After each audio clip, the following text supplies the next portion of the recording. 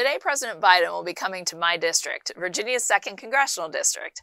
It's an honor to be able to host him here, but I really wish the purpose of his visit was less partisan.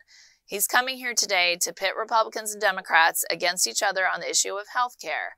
And I'm a geriatric nurse practitioner. I've had the honor and privilege of taking care of our greatest generation for many years, proudly providing them with the quality health care they deserve as they get older. They've spent their entire lives paying into programs like Social Security and Medicare with the promise that the government would pay them back one day. And that's a promise that I intend to keep.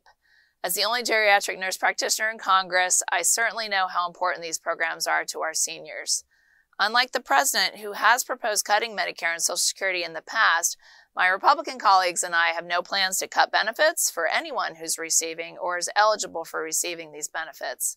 That's why I'm fighting to preserve them.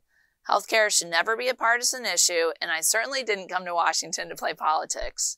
I'm laser focused on solutions for providing quality, accessible, and affordable healthcare to all Americans, and especially for those in my district and those in our greatest generation. I hope the president will decide to switch gears today and will work with Republicans to find those practical, bipartisan solutions because I stand ready to work with him and any of my colleagues to get the job done.